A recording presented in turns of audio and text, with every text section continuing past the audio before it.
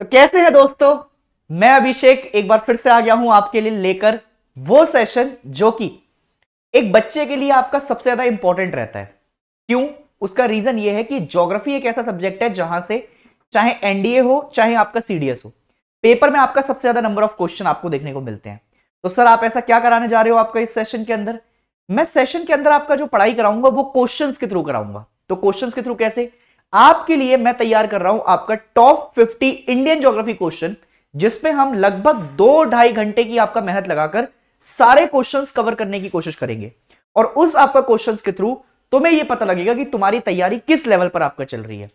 तो ऐसे ही आपका जो है मैंने यहाँ पर लिखा है तो हो तैयार, करोगे बार और इस सेशन को आपका जो है तुम्हें वार पे वार करना है। सेशन को शेयर कर कर आना है और सेशन को लाइक शेयर कर लेना, ताकि ये हर उस बच्चे तक पहुँच सके जो कि तैयारी कर रहा है।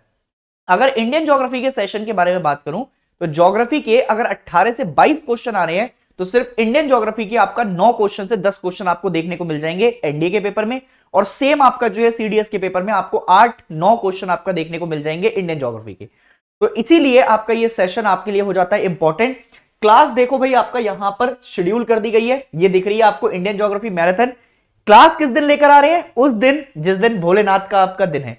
तो महाशिवरात्रि का गिफ्ट आपके लिए आपका आ रहा है ये, और शाम को सात बजे क्लास के लिए लाइव क्लास लेना ना भूलें। और मैं आपको फिर से मिलूँगा आपके क्लासेस के बीच में। तब तक के लिए अपना ध्यान रखिए, खुश रहिए, मुस्कुराते रहिए। जय हिंद।